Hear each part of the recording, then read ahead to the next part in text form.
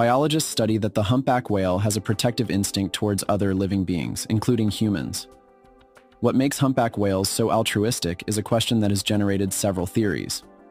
One of them is surprising due to the discovery of certain types of neurons in the brains of humpback whales, and some other similar species, which are also present in the human brain. This similarity is believed to be the reason why many humpback whales exhibit complex social behavior, very similar to human behavior. These whales often save other animals, such as seals, from attacks by killer whales, for example.